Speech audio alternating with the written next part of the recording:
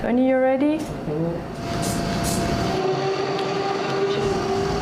Three, two, one, 110. Work through it.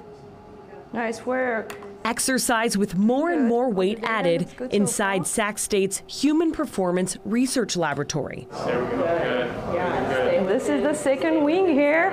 There we go. Perfect. Okay, keep pushing, Tony. Dig deep. All for critical research. I don't feel my symptoms as much, especially the, the, the tremors. I don't know Oh, if as you're working out. as I'm working, I don't feel it.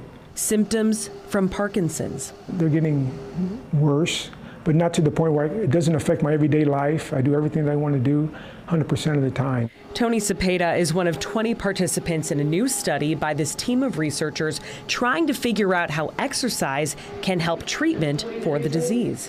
when we look at something like um, prescribing exercise, right? If you have someone come into a neurologist, gets a diagnosis, what should that neurologist be prescribing? Prescribing working out as medicine. The researchers have been tracking people like Tony for weeks and doing different tests, including blood work, to see down to the molecular level how people with Parkinson's brains react to getting in a good sweat.